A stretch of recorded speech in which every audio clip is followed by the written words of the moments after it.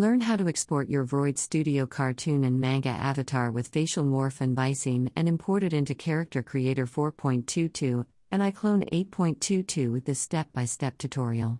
Follow along as we guide you through the entire process, from creating your avatar to testing animation and Viseme. Happy 3D modeling, 3D animation, and 3D game development.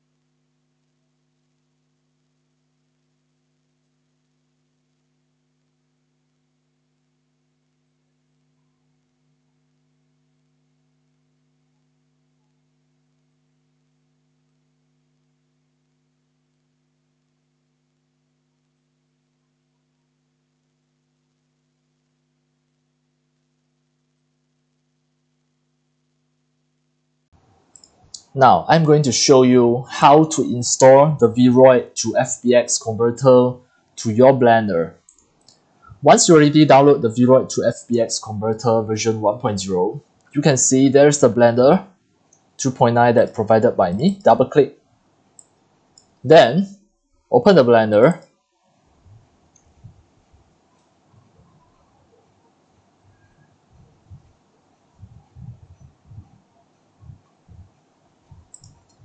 Next, in this folder, just back to the previous folder, you can see these two plugin. You have to install these two plugin into your Blender 2.9. Just go to the Edit Preferences. click install then go to this location as demo I'm going to copy this location control C and paste it here control V and press enter. Now the CATS Blender plugin is at here double click. Then it is going to install. Then install again another one the VRM add-on double click to install. Once two already installed you have to search it here. First you search CATS make sure the CATS Blender plugin you take it. And also search for VRM make sure the VRM import exports you have to take it then done close once done already when you press N in your Blender 2.9 you press N you should be able to see the CATS Blender plugin at here then you can click the triple line to import the, the VRM from the VRoid Studio or any other VRM file the VRM file that exported from VRoid Studio, you can import into here as well. Alright.